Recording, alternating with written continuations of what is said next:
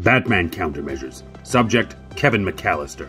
First and foremost, let me be 100% clear. Kevin is a child. That said, Kevin McCallister is a master of prep time, rivaling even myself. In a situation of me versus him, it is imperative that I do not give him the time or the space to come up with any of his contraptions or traps. But then again, he is a child. How the Wet Bandits had problems with him, I will never understand. 99.9% of the time, I am against crime and criminals in any shape or form. But honestly, I was kind of rooting for Harry and Marv. Back to what I was saying. If Kevin were allowed some prep time, I honestly don't know how it would affect me. Really? I can step on some cars and be fine. I wouldn't take my shoes off. A flamethrower to the top of my head would cause mild discomfort, but I'd be alright. I'm quick enough to avoid buckets on the stairs. And if I saw an iron falling towards my face, I wouldn't just stand there and stare at it. I would move, and I would get to Kevin as quickly as possible. And again, he is a child. This would be over quickly.